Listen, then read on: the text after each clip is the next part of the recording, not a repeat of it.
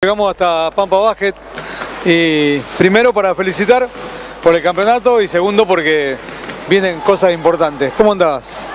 Bien, muchas gracias por, por acercarse y sí, la verdad que estamos muy contentos.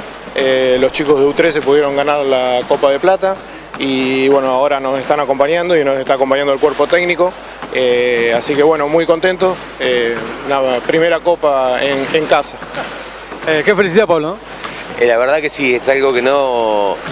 que si bien uno planifica entrenar y trabajar para, para esto, pero después llegar eh, es, es inexplicable. Por ello, más que nada, ¿no? Porque es una alegría enorme. Pero, o sea, el objetivo está planteado. Vamos a intentar ganar los partidos que se pueda y bueno, y se dio para lograr el campeonato. Nosotros a principio de año eh, nos proponemos trabajar para eso.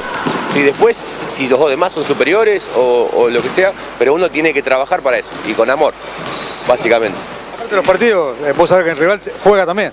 Sí, además eh, somos casi, hay, hay dos equipos que, que están, que están muy arriba en la liga y los demás somos todos parejos, todos nos podemos ganar. Entonces, eh, son Disfruta más. Se disfruta, se disfruta. ¿Y? Luciano. Sí, por supuesto.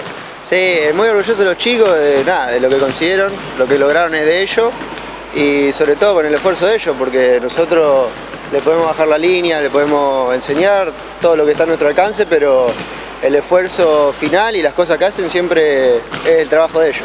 No, la verdad fue un campeonato que, o sea, fue muy peleado. Lo- Los partidos prácticamente fueron difíciles, Ah, ganamos por uno y por dos, pero prácticamente darle una alegría a la gente y eso, nada más fue, fue algo lindo ga- ganar esto. Eh, para mí es algo mm, bueno para el club y para, para, nosotros porque es como un logro y básicamente yo, y no sé si algún compañero más, yo lo hice por los profes y por mis compañeros porque mm, eh, se lo merece y nos lo merecemos todos porque es un club que es muy humilde y es muy bueno con, con la visita, con todo. Genial. Bueno, ahí está, el festejo valió la pena. Me dijeron que vinieron de Colón hasta acá cantando, ¿es cierto? 50, 100 kilómetros cantando, ¿así fue? Sí, el chofer estaba re feliz. ¿Qué resta? Y ahora este fin de semana resta mm, eh, U17, que también tenemos que viajar a Colón, eh, eso también por la Copa de Oro. Eh, y nos queda segunda, que también participa por la Copa de Oro. Eh, ese partido lo vamos a definir acá en Salto. Eh, no tenemos la fecha confirmada, pero estimamos que es para el jueves de la semana que viene y estamos viendo, definiendo el horario. Eh, jueves, creo, sí. Sí, va el jueves 23 y estamos viendo el tema del horario, si es 20, 30 o 21, pero todavía no lo tenemos confirmado. Eh, estamos esperando el rival, tampoco sabemos con qué rival, pero sabemos que, que vamos a jugar acá de local.